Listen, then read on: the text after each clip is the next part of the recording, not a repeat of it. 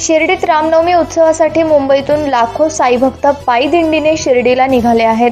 मुंबईच्या अनेक भागातून लाखो साईभक्त पायी चालत मुंबई ते शिर्डी असे सुमारे दोनशे पन्नास किलोमीटरचे अंतर प्रवास करणार आहेत.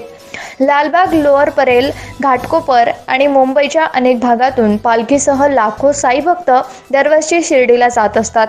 एकूण नऊ दिवसाचा पायी प्रवास करून ठाणे घोटी नाशिक सिन्नर मार्गे साईभक्त शिर्डीत दाखल होणार आहेत. या पालखी सोहळ्यासह समाज बांधिलकी म्हणून विविध समाज उपयोगी कार्य ही मांडके हाती घेत असतात.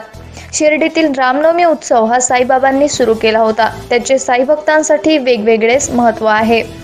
म्हणूनच साईभक्त लाखोंच्या संख्येने शिर्डीला रामनवमीसाठी पालखीसह दाखल होणार आहेत. कशा प्रकारे पायी प्रवास असतो रस्त्यामध्ये कशा प्रकारे साई भक्तांसाठी सोय केली जाते? आता मुंबईला निघाल्यापासून मुंबई ते शिर्डी दोनशे पासष्ट किलोमीटर आहे. पायी किलोमीटर तुम्ही चालताना प्रत्येक मुक्कामानं पंधरा किलोमीटरवरती प्रत्येक पायी थांबवली जाते. थांबवल्यानंतर प्रत्येकाला प्रत्येक मंडळ आपापल्या सुखसोयीप्रमाणे करतात. इतरही मंडळ आम्हाला मदत करतातच. संस्थान चांगली मदत करते. पाण्याची व्यवस्था बोला कुठल्याही व्यवस्था. मेडिकल उपचार अमोल पितळे आहेत. जे कंटिन्युअस सेवा आपल्या डॉक्टरांची मिळत असते.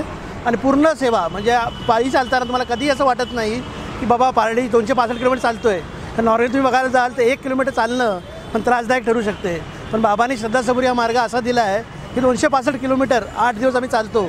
पण बाबा कुठलाही त्रास न करता आम्हाला शिर्डीपर्यंत मुक्कामी पोहोचवतो. रामनवमीच्या उत्सवासाठी किती भक्त मुंबईतून शिर्डीमध्ये दाखल होतील अंदाज आहे? सरासरी दहा ते पंधरा हजारच्या वरच माणसं दहा ते पंधरा हजार लाख माणसं आपला ऑन अन ॲव्हरेज करायला पाहिजे. कारण सरासरी शिर्डी रामनवमीला ऑन अन ॲव्हरेज चारशे पालख्या असा अंदाज धरू शकतो आपण. संकलन केलं जातं मुंबई ते शिर्डी गेली पंचवीस वर्षे हे मंडळाचं रौप्य मस्त वर्ष आहे.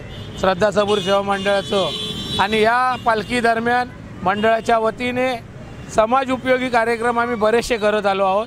आणि पंचवीसावं वर्ष असल्यामुळे जास्तीत जास्त समाज उपयोगी कार्यक्रम. कारण बाबांनी आम्हाला ही शिकवण दिलेली आहे की गरजूवंतांना तुम्ही मदत करा. मी तुमच्या सदैव पाठीशी राहीन. आणि आजपर्यंत पंचवीस वर्षांनी बाबा आमच्या सदैव पाठीशी आहेत आणि आमची ही सेवा कायम चालू राहणार आहे. धन्यवाद.